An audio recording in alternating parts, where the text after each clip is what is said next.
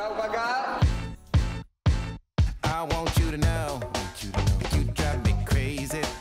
And I want you to know, you know, you are my lady. Szykuje nam się nowość w TVN-ie Power Couple, no ale nowością będzie to, że wreszcie na antenie zobaczymy narzeczonego Ewy Kasprzyk, który już był Marcinem, Michałem, no już teraz wiemy, że to Michał Kozerski, bardzo mi miło. Długo trzeba było nakłaniać do udziału?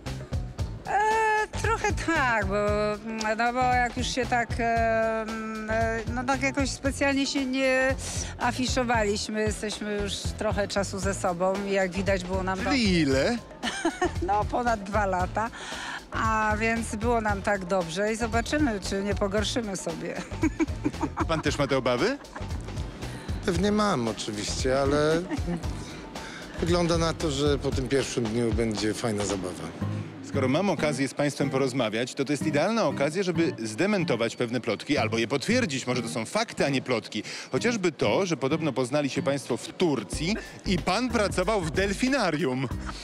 A Dobrze, to kochanie, są to, na ty powiedz. plotki. Nigdy nie pracowałem w Turcji, a na pewno już nie w delfinarium. Związany jestem z morzem, ale bardziej bałtyckim bądź oceanem indyjskim. Delfinoterapeuta? Nie, nie delfinoterapeuta. A kto w takim razie zawodowo? Broker morski. A czym się zajmuje broker morski z Gdańska? E, obsługą armatorów obcych bander zawijających do portów i stoczni trójmiejskich. Czyli jednak ten ukochany Gdańsk. No jednak ten Gdańsk i jednak to morze, tak? Are you keeping it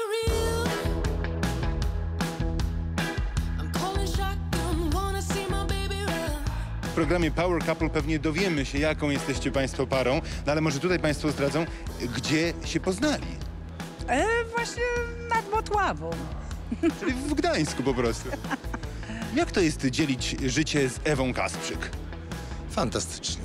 Jeszcze nie wyobrażałem sobie, że można mieć tyle zajęć, co mam obecnie. Będąc częściej w Warszawie niż już na wybrzeżu. Udzieliła Pani jednego wywiadu, w którym zdobyła się Pani na szczerość zaręczyny na Akropolu w Atenach.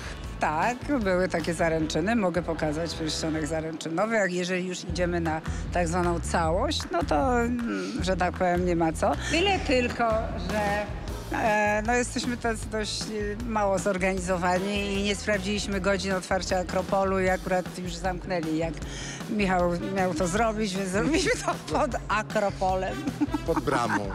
Ale to była miłość od pierwszego wejrzenia? Tak, to był pio, tak, to przynajmniej powiedz ty. Piorun sycylijski. Nauczyłem się tego określenia. To był piorun sycylijski. I to z obydwu stron. No tak, no tak, no tak. Ślub w RPA będzie? Tak. Bądź w Mozambiku. Jeszcze planujemy. Ale czekamy na otwarcie granic i w ogóle na potwierdzenie tego, tego że, że, to, że to będzie możliwe. Także zapraszamy wszystkich. Wygląda, że Ewy zaskoczyłem. Ale dobrze, czyli ślub będzie w Afryce, ale to jest Wasz też ulubiony kierunek, oboje kochacie Afrykę? No Michał bardziej i, i, i najpierw, bo ja jeździę, jeżeli mogę powiedzieć o miłości, to do Tajlandii, ale już raz też y, z, udało mi się tam go za, zaprosić na tajski boks. Czy u Was po tym już zakochaniu od pierwszego wejrzenia pojawiły się takie wątpliwości, że a może jednak nie, a już może dam sobie spokój? Nie, to było wcześniej. To ja by wcześniej powiedziałam, żadnych już relacji, żadnego wchodzenia, tylko bawię się. No ale tak jakoś nie udało się. Nie no, to jest, to jest niesamowite, bo mniej więcej przy naszym spotkaniu powiedzieliśmy sobie, że nas kompletnie nie interesują żadne relacje, tak? I było to dwa i pół roku temu. No to tak, trzymamy kciuki za program, za wygraną w programie Power Couple. E, trzymamy... Kondycję przede wszystkim, bo też nie wiemy, co tam nas czeka, bo myślę, że tam oj, oj, oj.